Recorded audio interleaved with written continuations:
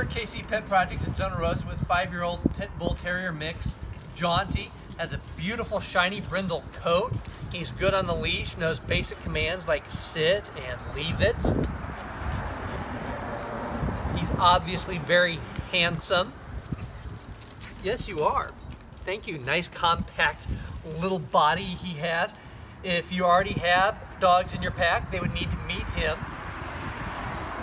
So bring them along when you come to Zona Rosa. If you'd like to help other senior and harder to adopt dogs find their forever home, make a donation at rosiefund.org. Rosie Fund. We save each other. That's a good boy.